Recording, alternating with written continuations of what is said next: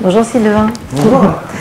Alors nous vous connaissons pour vos romans ou vos documentaires littéraires. Euh, euh, dans ces deux veines, en quelque sorte, vous euh, vous, appuyez sur, sur des faits de société, sur le réel, et vous en faites une, une matière littéraire, on va, on va y revenir. vous êtes également historien et vous intervenez dans le master de création littéraire de l'Université Paris 8 à Saint-Denis et il vous arrive euh, de faire des lectures musicales de vos textes avec euh, Orso Jezinska ou Ntia Konaté. Alors, comment avez-vous rencontré par exemple euh, Ntia Konaté et qu'est-ce que la musique apporte à votre écriture? Bah alors, Orso Jezinska, c'est un ami depuis longtemps qui habite à Marseille. Ntia Konaté, c'est quelqu'un que je connais depuis pas très longtemps, que j'ai rencontré dans un atelier d'écriture avec des lycéens à Montreuil. Et puis voilà, on avait euh, sympathisé, il m'avait dit qu'il faisait du rap, il m'avait envoyé le lien pour euh, écouter ça. Et euh, voilà, donc quand j'ai voulu faire une lecture musicale, j'ai proposé, et j'ai aussi proposé à Senabou Sonko, qui, était, qui est une, étudiante du master de création littéraire. Et donc on a fait aussi, avec un autre étudiant aussi qui s'appelle Aurélien, avec qui on a, on a fait ça. Et donc j'aime bien, en fait, au fur et à mesure des rencontres que je peux avoir euh, avec d'autres personnes qui ont d'autres formes d'expression artistique, réfléchir à des, à des, formes communes. Mm. Parce que comme j'ai des livres dans lesquels euh, disons l'écriture est assez scandée, dans lesquels euh, il y a un certain rythme, mm-hmm. bah, je trouve que ça, ça, se prête bien à, se mettre en musique. Mm-hmm. Et euh, ce qui vous intéresse, il me semble, c'est la culture populaire, hein, euh, la voix de ceux qu'on oublie. On peut citer justement pour que le public euh, ait en tête un peu ce que le, propos de, vos romans. On peut citer les thèmes de vos précédents textes. Par exemple, la mobilisation des employés sans papier d'un salon de beauté du quartier Château d'Eau, hein, c'est dans Beauté Parade. La grève des salariés licenciés de l'usine PSA Aulnay, ça c'est dans Avant de disparaître. Ou l'exclusion d'un lycée de deux adolescentes pour, euh, qui vont finir caissières. Et enfin, les jeunes d'un collège de Saint-Denis que nous rencontrons dans, dans votre dernier roman et premier à l'école des loisirs. Voilà, c'est mon premier roman jeunesse. Hein. Ouais, ah ouais, Alors, qu'est-ce que ça fait, ce premier roman jeunesse? Ben, Et où est-ce que vous avez grandi, vous, Sylvain? Et euh, quel a été, parce que euh, il me semble qu'il y a toujours un, une, démarche d'observation d'un milieu. Quel a été votre terrain d'observation pour ce roman ben, Moi, j'ai grandi à Aix-en-Provence, donc euh, ah. dans les Bouches-du-Rhône. Et euh, j'habite depuis, euh, depuis maintenant 2016 en Seine-Saint-Denis, mhm. à Noisy-le-Sec, très exactement. Et je travaille, en fait, j'ai toujours travaillé en Seine-Saint-Denis. Depuis que je suis enseignant, donc j'ai été enseignant, j'avais 22 ans, quoi. Depuis que je suis enseignant, j'ai toujours été enseignant en Seine-Saint-Denis, alors soit à l'université, soit aussi en lycée. Euh, et, bon, maintenant, mes enfants, euh, bah, ils grandissent en Seine-Saint-Denis, ils sont, ils sont écoliers encore, ils ne sont pas encore collégiens. Mais euh, c'est vrai que quelque chose qui me frappe dans ce département, c'est l'énergie qu'il peut y avoir, la vie qu'il peut y avoir, parce que c'est un département très jeune, c'est un, des départements les, plus jeunes de France.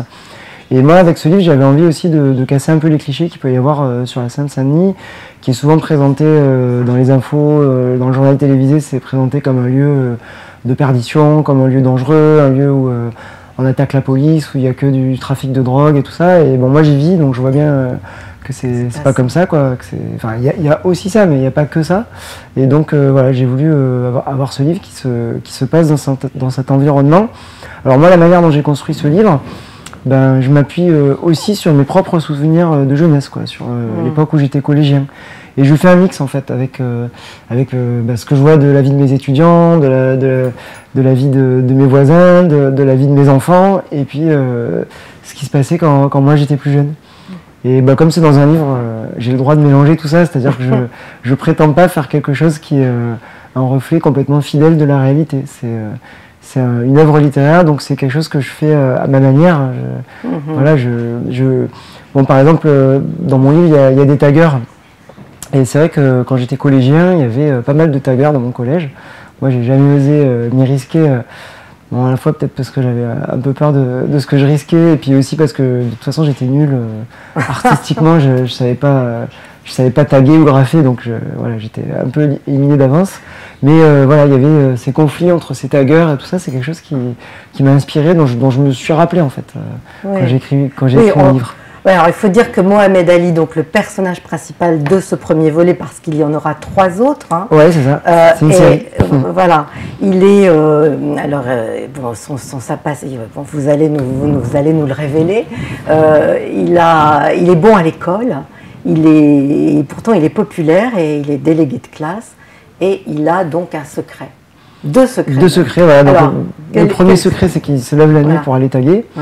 Et le deuxième secret, c'est qu'il est amoureux d'une fille qui s'appelle Aimée, qui est dans sa classe. Et elle, euh, ben, elle s'intéresse surtout au foot. Elle est footballeuse. Et euh, les garçons, c'est pas sa priorité. Euh, sa priorité, c'est le sport. Donc, il ne sait pas trop, lui, comment s'y prendre pour, pour aller discuter avec elle, pour essayer de la séduire. Et heureusement pour lui, il y a deux filles dans sa classe, Lina et Margot, qui le, prennent un peu en pitié. Donc elle, c'est un peu les, rebelles de la classe, celles qui, embêtent un peu les profs et tout ça. Mm. Et elle décide en fait de, l'aider, de lui donner des conseils pour qu'il arrive euh, à, aller parler euh, à Aimer.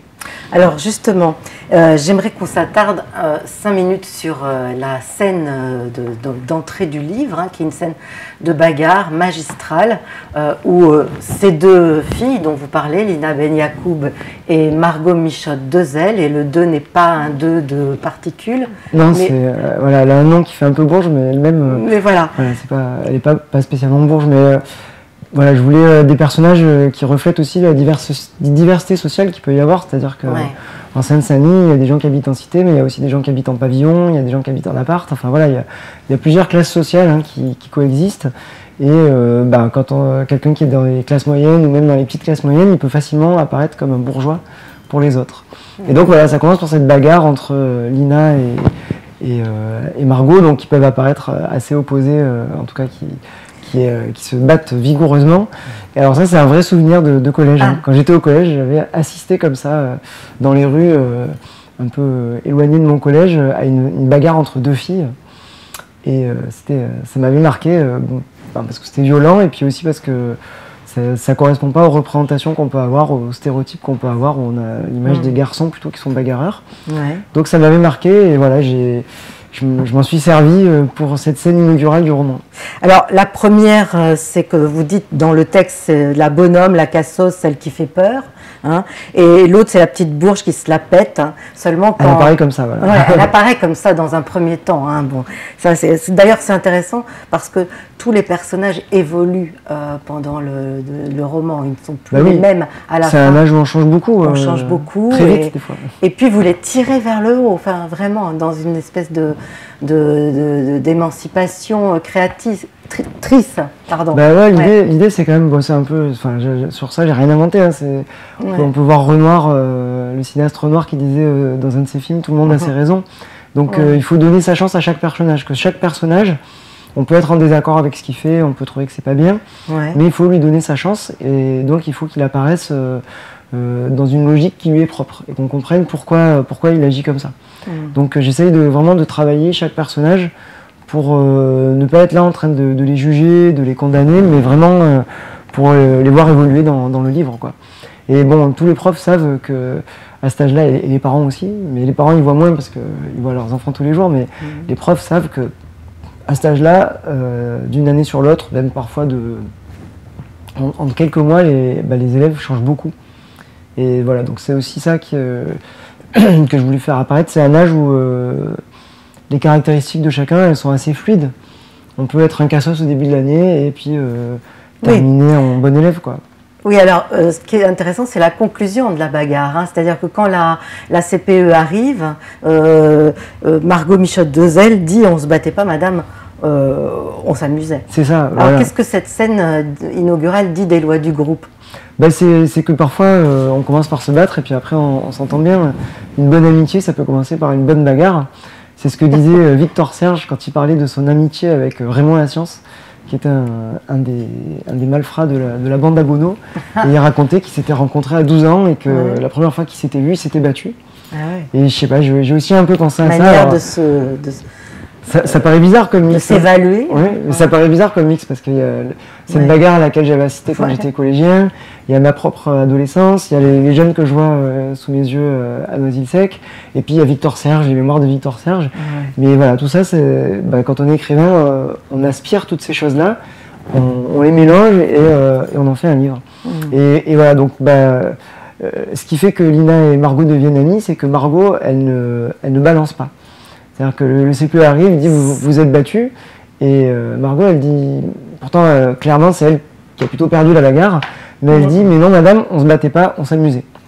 Et euh, voilà, donc à partir de ce moment-là, elle gagne, euh, elle gagne le respect de, Lina Absolument, et c'est important ça dans la loi du groupe. Hein. Voilà, c'est ça, de ne pas balancer. Alors revenons un peu à Mohamed Ali, qui lui précise qu'il euh, il préfère le graphe au tag, puisque le graphe c'est de l'art. Et vous faites se côtoyer toute forme, des tas de formes d'art dans, dans votre roman. Par exemple, il va lui aussi évoluer dans, dans, dans dans son art puisqu'il va rencontrer un groupe de graffeurs qui vont l'encourager à faire une fresque et puis Miss Sabir qui va euh, l'inviter à regarder les gisants de, de la basilique Saint-Denis. Et euh, c'était important pour vous de faire se côtoyer toutes ces formes d'expression? Oui, parce que bah, déjà, déjà euh, alors, la différence entre le tag et le graphe, c'est que le tag, c'est une simple signature, c'est un peu marquer son, son territoire. Alors que le graphe, c'est essayer de faire quelque chose qui a une valeur artistique euh, qui, est, qui vaut pas que par le lettrage, mais aussi par les couleurs, par les formes, par les, par les dessins. Donc ça, c'était quelque chose que j'avais envie de mettre, en scène. Et puis la basilique de Saint-Denis, ben voilà, on est en Seine-Saint-Denis, c'est quand même un des, principaux monuments euh, du département. Et c'est vraiment un endroit magique. Je ne sais pas si tous ceux qui écoutent aujourd'hui euh, connaissent cet endroit, mais en fait, c'est là où il y a les, tombes des, rois de France, en fait. Et, il y a des gisants. Les gisants, c'est à, une période de la monarchie. Ils représentaient le roi mort et le roi vivant sur la, même tombe.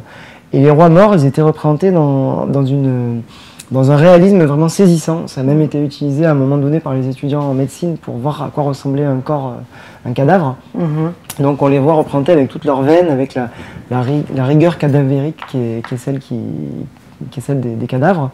Et donc euh, bah, c'est quelque chose que j'ai beaucoup emmené mes étudiants visiter quand, quand, quand je suis en, tant qu'enseignant. J'avais un cours où on faisait des visites de la basilique. Et euh, mes étudiants étaient souvent assez saisis, comme moi je l'avais été, par, par ça, quoi, par ces, par, ces, gisants.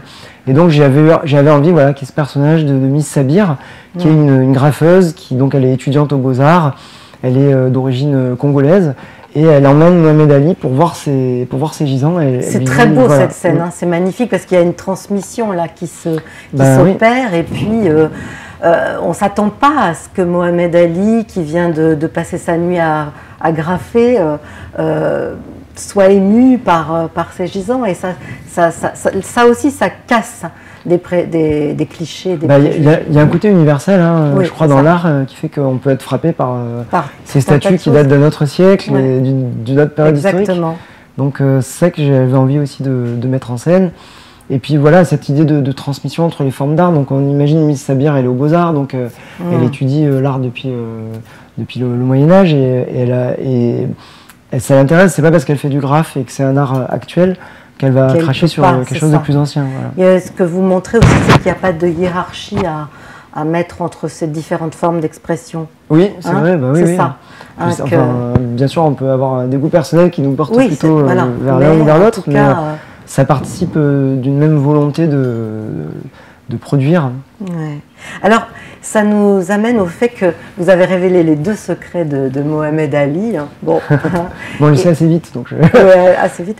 Et ça explique le titre Amour Chrome, qui est, qui est une, euh, une, hypalage. Expliquez-nous ce qu'est une hypalage. Alors, une hypalage, donc ça, c'est une, une, une forme de figure de style, en fait dans lequel on accole euh, deux, termes qui ne vont pas forcément bien ensemble. Donc, mhm. Donc c'est pas un oxymore parce qu'un oxymore c'est quand on va on va accoler deux, opposés.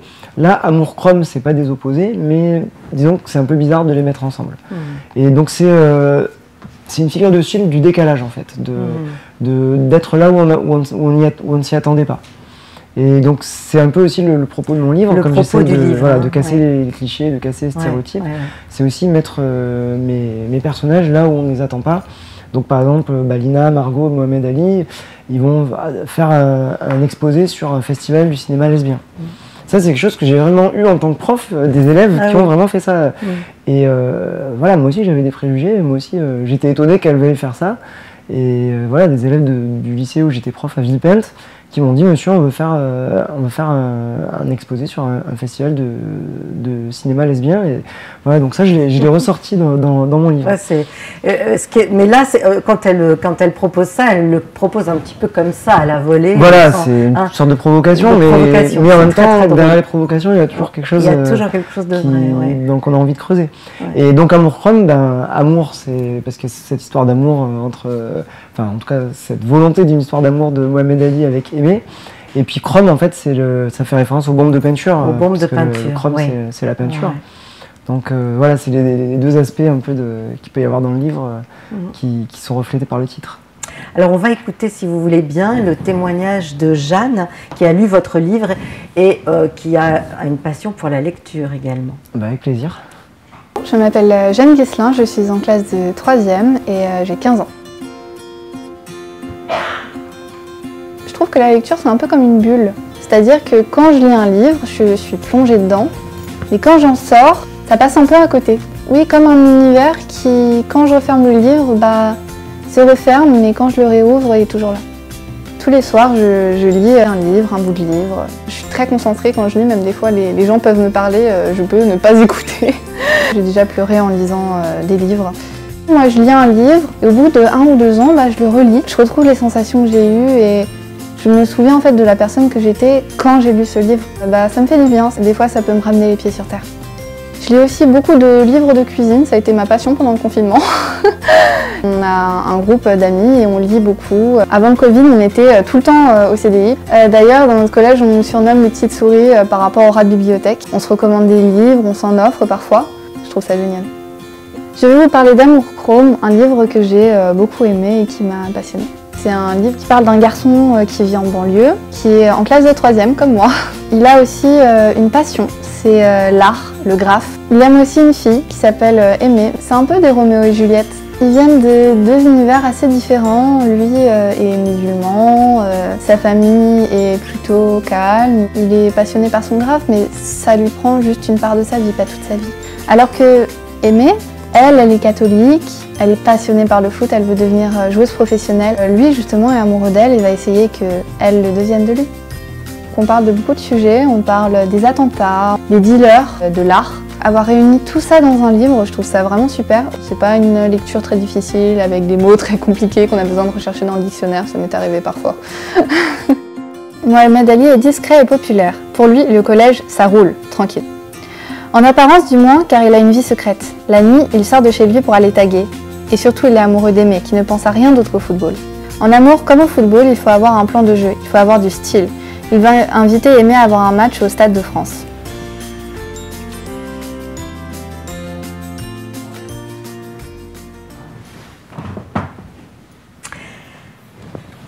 Elle a raison, Jeanne. Hein. Euh, vous parvenez dans ce court roman à évoquer quantité de thèmes à la fois sociétaux et euh, de préoccupations euh, adolescentes intimes. Il y a par exemple, je, enfin, je pense à cette scène où le père de Mohamed Ali lui apprend à, se, à se, raser. Oui, ah. ben, si vous voulez, je peux la, ah oui, lire. Oui, oui, mais il faut que je la retrouve. Oh là là. En fait, c'est vrai que. Qu'est-ce qui. Ben, qui vous a appris à, vous raser, vous? Ben euh, ah. oui, en fait, euh, moi j'ai voulu. Je, vous le dis et puis après je. Oui, d'accord. Il va voir son père. Papa, je veux me raser, je veux que tu m'apprennes à me raser. Son père est dans le salon, sur son téléphone, sa mère pas loin, elle arrive. Qu'est-ce qui se passe? Il veut se raser. Mohamed Ali pense poucave, jamais il ne le dirait. Sa mère le prend dans ses bras. Mon petit garçon, mon petit garçon, tu es devenu grand. Justement ce qu'il voulait éviter. Il aurait dû y penser, il aurait dû réfléchir, y aller quand son père était seul. Mais s'il avait réfléchi, il aurait attendu encore des semaines jusqu'à atteindre le point procès Gillette, le point où on se fout de ta gueule à cause de ta moustache, le point Zaco et les filles. Viens, il dit son père, je vais te montrer si tu penses que c'est le moment. Ils retournent dans la salle de bain tous les deux. Son père ne remarque même pas qu'il a tout mouillé par terre et rien essuyé. Le moment est trop solennel. Il apprend à son fils à se raser. Il sort un rasoir mécanique, il change la lame, il lui dit voilà l'instrument. Certains utilisent le rasoir électrique, je préfère ça, à la main. Il a un petit savon dans une coupelle, un savon à barbe, il l'humidifie, et puis il lui passe un petit toupet sur la peau, avec le savon. Tiens, prends-le en main ton rasoir, voilà. Tu regardes bien dans la glace, tu passes la lame comme ça, tout doucement, dans le sens du poil. puis dans le sens inverse pour bien tout enlever. Tu n'appuies pas trop fort pour ne pas te couper. Ça a duré 30 secondes et son duvet a disparu. Il n'a pas existé assez longtemps, pas assez long pour qu'on se moque de lui. Voilà, il dit son père. Demain, j'irai au supermarché, je t'achèterai un rasoir et des lames. Tu peux prendre mon savon à barbe si tu ne laisses pas plein de poils dedans. Au début, ça ne repousse pas vite. Tu l'utilises quand tu en as besoin. Tu peux te mettre de la lotion hydratante ensuite. Et quand tu devras te raser le menton, tu fais pareil. Il se regarde, c'est vraiment mieux. Il sort de la salle de bain, sa mère l'attend. Elle le prend dans ses bras, elle passe son pouce sur sa lèvre. Que tu es doux, mon fils. Mohamed Ali se dégage. Il n'est pas très à l'aise. Je vais dans ma chambre, il dit. J'ai du travail pour le collège. Il se met sur le lit, écouteur dans les oreilles.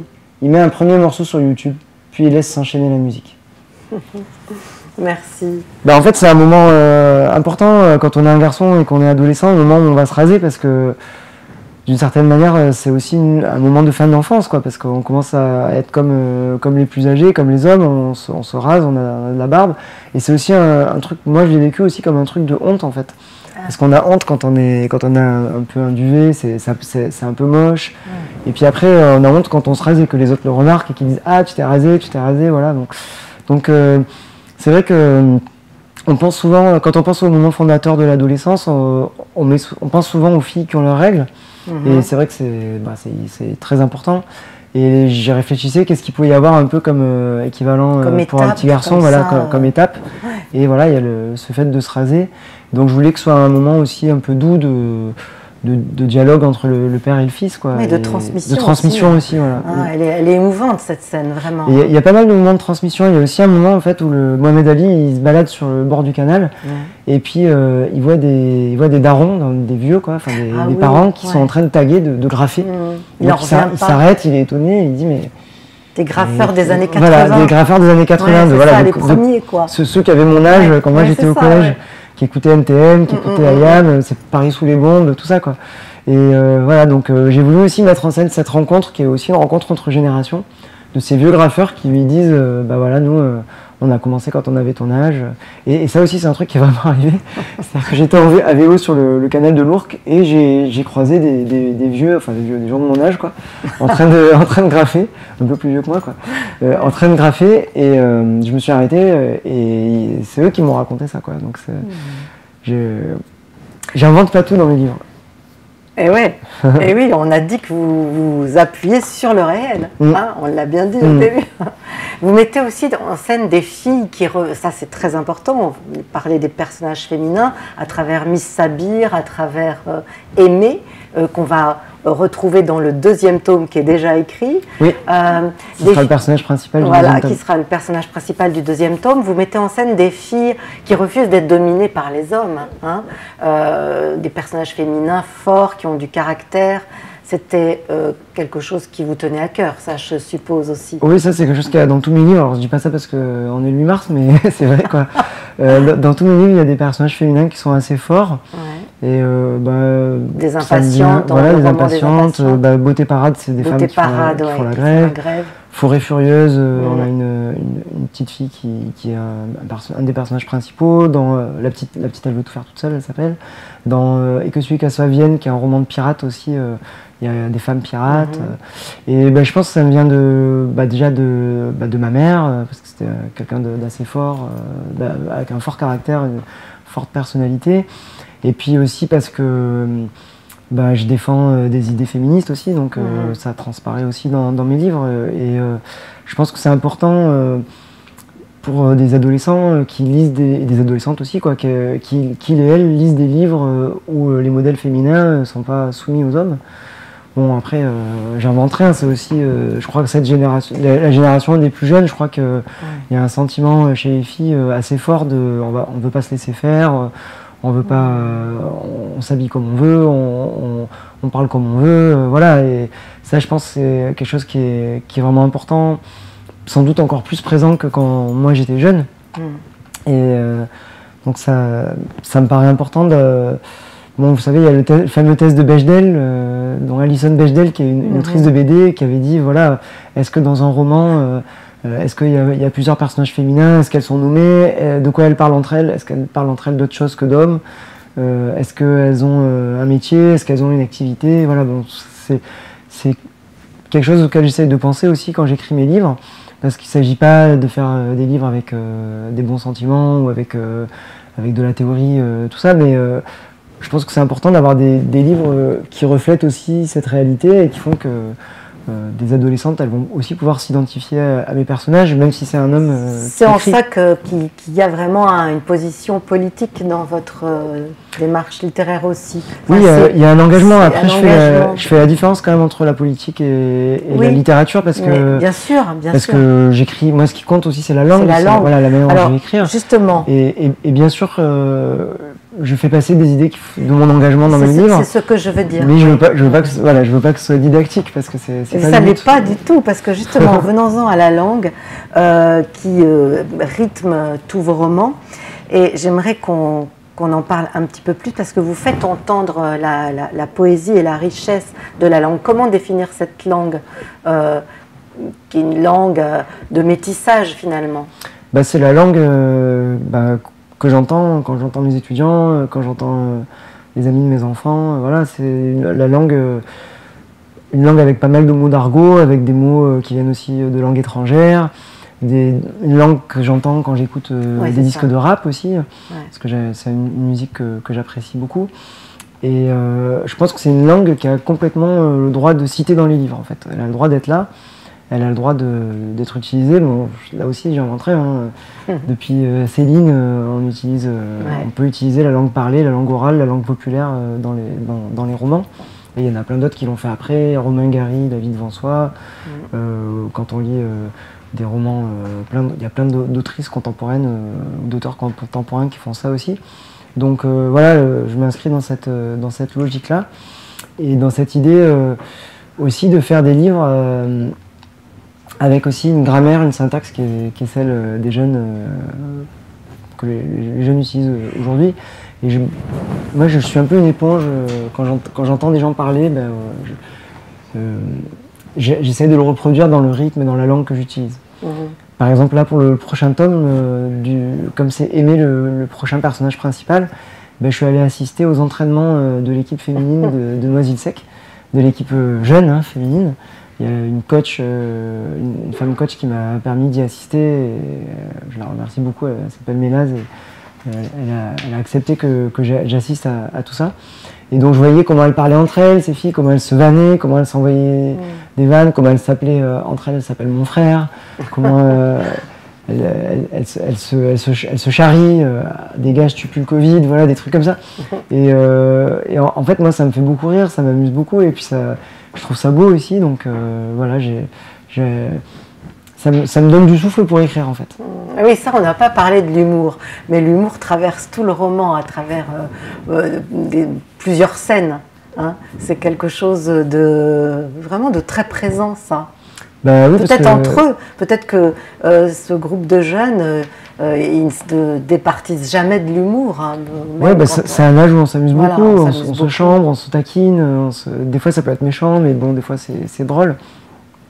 Donc, euh, Par exemple, la scène des chaussettes, quand, euh, ah quand euh, finalement Aimé et Mohamed vont finir par se retrouver, c'est autour d'une scène d'un prêt-de-chaussettes. Oui, parce que Aimé a oublié ses chaussettes, et donc Mohamed Ali et ben, c'est l'occasion d'aller lui parler. Et comme elle est grande et, costaud, ben, il, peut lui, il, peut lui, donner des, ses, chaussettes à lui, des, des chaussettes de, garçon. il lui dit Tiens, je te prête mes chaussettes. Et il lui fait croire qu'il a aussi une paire de chaussettes de rechange, mais en fait, il n'en a pas. Et voilà, donc après, euh, ses copains se moquent de lui. Ils disent Ah, mais euh, ses copines, elles se moquent de lui. Ah, mais tu vas plus les laver les chaussettes quand elle va te les rendre. Voilà, des, choses comme ça. voilà. Mais il y a, y, a, y a, un art du chambrage aussi euh, entre, les, entre les élèves des fois, des fois même quand on est prof, des fois c'est difficile hein, de ne pas rigoler, quoi, parce que c'est assez drôle. Euh, et donc c'est aussi une énergie et euh, un sens de la vitalité, de la répartie, de la réplique que j'ai essayé de faire ressortir dans le livre. Et vous y réussissez très très bien. Euh, de quelle façon les langues populaires, justement, alors bon, cette langue-là peut être, peut être une langue de rébellion et comment elle enrichit la langue, disons, officielle? Bah, je pense que souvent les jeunes ils sont pas dupes, c'est-à-dire qu'ils n'utilisent pas la même langue quand ils parlent à leurs profs, quand ils parlent à leurs parents, quand ils parlent entre copains. Il le dit Mohamed, hein, ça. Mohamed Ali, oui, il, le dit.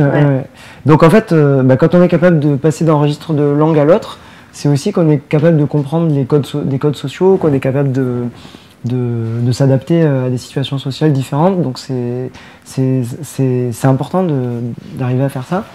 Et euh, c'est aussi euh, cette langue euh, dans laquelle on utilise des mots, des tournures de phrases que les adultes ne comprennent pas. C'est aussi une manière de, se constituer son monde à soi, ses références. Et voilà, ben, ça fait plaisir quand on est jeune d'utiliser des mots que les adultes ne comprennent pas parce qu'on a l'impression que ben, qu'on se crée notre univers. Et puis c'est aussi un moyen de, connivence, de reconnaissance entre pairs. Quoi. Mmh. Donc cette habileté avec la langue, avec le langage, elle a aussi euh, une signification sociale et euh, elle permet aussi de bah, d'éprouver ce que c'est d'être jeune, d'éprouver une autonomie, une indépendance. Donc c'est une forme pas simplement de, rébellion, mais aussi d'autonomie. Et bah, les jeunes, ce qu'ils cherchent à faire, c'est ça. C'est un âge où on essaye d'avoir plus d'autonomie par rapport à ses parents, par rapport aux profs, par rapport aux adultes. On a envie de se sentir grand. Donc euh, ça passe aussi par la langue et par le fait de se prendre au sérieux en prenant ses propres mots au sérieux. Donc il y a, l'humour, mais il y a aussi se, prendre au sérieux.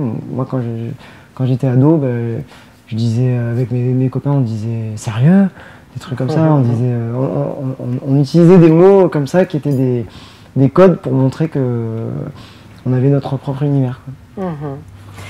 Euh, pour finir, est-ce que vous nous liriez le, ce, rap un peu de Astre, le, ah qui fait partie du groupe des graffeurs de Miss Sabir et qui raconte la guerre entre deux groupes de, de graffeurs?